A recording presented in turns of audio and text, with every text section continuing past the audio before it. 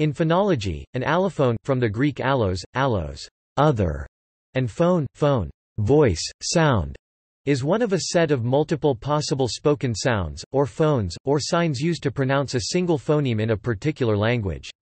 For example, t as in stop Saint P and as in letter are allophones for the phoneme t in English, while these two are considered to be different phonemes in Spanish. On the other hand, d as in dollar, do, lo, r and as in nada na are allophones for the phoneme d in Spanish, while these two are considered to be different phonemes in English. The specific allophone selected in a given situation is often predictable from the phonetic context, with such allophones being called positional variants, but some allophones occur in free variation. Replacing a sound by another allophone of the same phoneme usually does not change the meaning of a word, but the result may sound non-native or even unintelligible. Native speakers of a given language perceive one phoneme in the language as a single distinctive sound and are both unaware of and even shocked by the allophone variations that are used to pronounce single phonemes.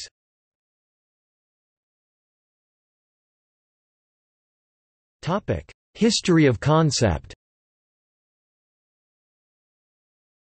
The term, allophone, was coined by Benjamin Lee Whorf in the 1940s. In doing so, he placed a cornerstone in consolidating early phoneme theory. The term was popularized by George L. Trager and Bernard Bloch in a 1941 paper on English phonology and went on to become part of standard usage within the American structuralist tradition.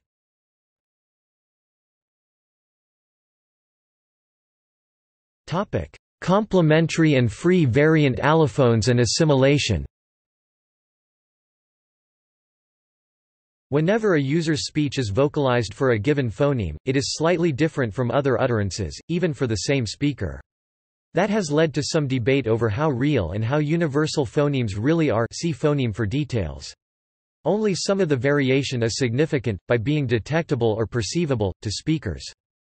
There are two types of allophones, based on whether a phoneme must be pronounced using a specific allophone in a specific situation or whether the speaker has the unconscious freedom to choose the allophone that is used. If a specific allophone from a set of allophones that correspond to a phoneme must be selected in a given context, and using a different allophone for a phoneme would cause confusion or make the speaker sound non-native, the allophones are said to be complementary. The allophones then complement each other, and one of them is not used in a situation in which the usage of another is standard. For complementary allophones, each allophone is used in a specific phonetic context and may be involved in a phonological process. In other cases, the speaker can freely select from free variant allophones on personal habit or preference. Another example of an allophone is assimilation, in which a phoneme is to sound more like another phoneme. One example of assimilation is consonant voicing and devoicing, in which voiceless consonants are voiced before and after voiced consonants, and voiced consonants are devoiced before and after voiceless consonants.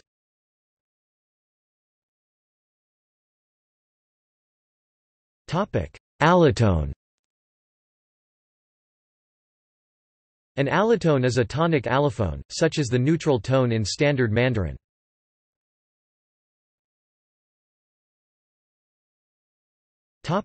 Examples.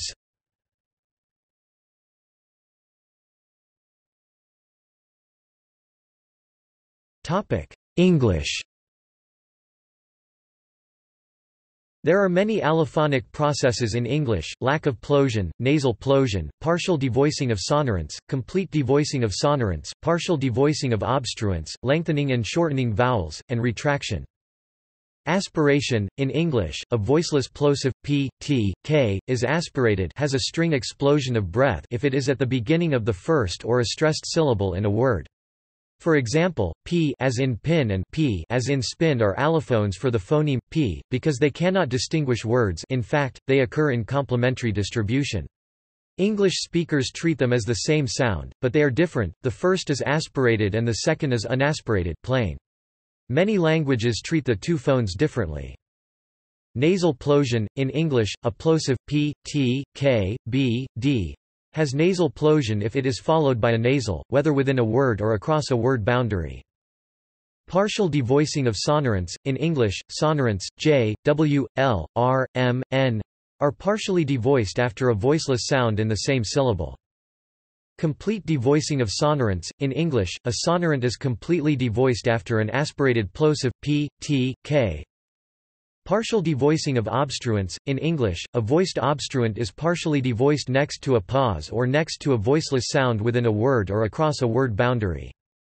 Retraction, in English, t, d, n, l, are retracted before, r, because the choice among allophones is seldom under conscious control, few people realize their existence. English speakers may be unaware of the differences among six allophones of the phoneme, t, unreleased t, as in cat, aspirated t as in top, glottalized, as in button, flapped, as in American English water, nasalized flapped as in winter, and none of the above t as in stop. However, they may become aware of the differences if, for example, they contrast the pronunciations of the following words night rate, unreleased ent, et, without a word space between, and nitrate, aspirated na, tiet, or retracted na, tiet, a flame that is held before the lips while those words are spoken flickers more for the aspirated nitrate than for the unaspirated nitrate. The difference can also be felt by holding the hand in front of the lips. For a Mandarin speaker, for whom t and t are separate phonemes, the English distinction is much more obvious than for an English speaker, who has learned since childhood to ignore the distinction. Allophones of English l may be noticed if the light l of leaf is contrasted with the dark of feel phi. Again, the difference is much more obvious to a Turkish speaker, for whom l and are separate phonemes, than to an English speaker, for whom they are allophones of a single phoneme.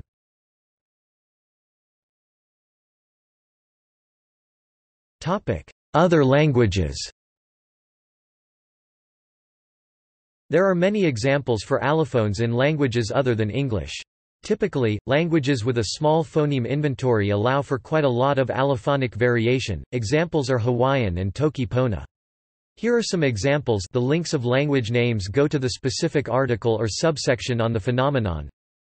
Consonant allophones Final devoicing particularly final obstruent devoicing, Arapaho, English, Nahuatl, and many others Voicing of initial letter Anticipatory assimilation. Aspiration changes, Algonquin. Frication between vowels, Dahalo Lenition, Manx. Voicing of clicks, Dahalo Allophones for, b, Arapaho, Xavante Allophones for, d, Xavante Allophones for, f, Bengali. Allophones for, j, Xavante Allophones for, k, Manam Allophones for, p, Garhwali G and Q as allophones, a number of Arabic dialects L and N as allophones, some dialects of Hawaiian, and some of Mandarin e.g. Southwestern and Lower Yangtze Allophones for, N Finnish and many more Wide range of variation in Japanese as archiphoneme n. Allophones for r, Xavante. Allophones for Bengali. Allophones for s, Bengali, Taos. T and k as allophones, Hawaiian. Allophones for with v and w, Hindustani, Hawaiian. Fricative beta before unrounded vowels, O'odham. Allophones for z, Bengali. Vowel allophones e and o are allophones of i and u in closed final syllables in Malay and and are allophones of i and u in Indonesian. o o as allophones for short u and e e as allophones for short i in various Arabic dialects. Long u o i e are separate phonemes in most Arabic dialects. Polish Russian Allophones for i, a, and u, Nuxalk Vowel, consonant allophones Vowels become glides in diphthongs, manam.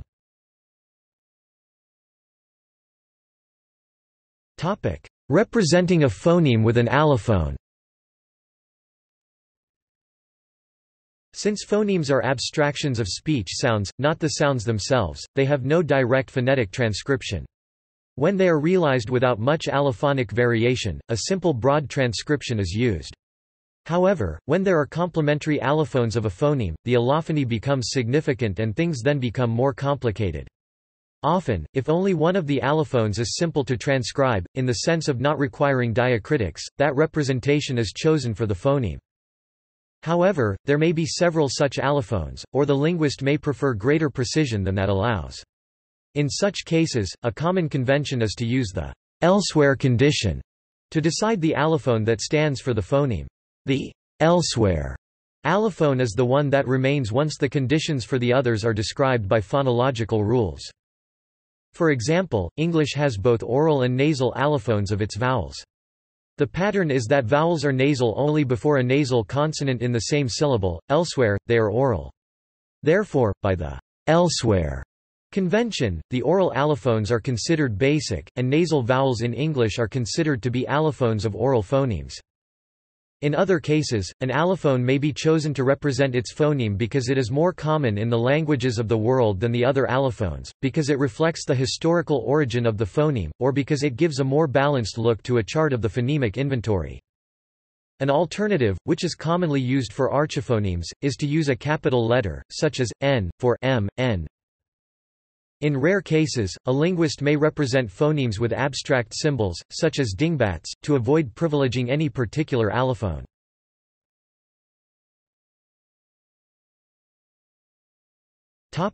See also Allo Allophonic rule Allomorph Alternation linguistics Diaphoneme List of phonetics topics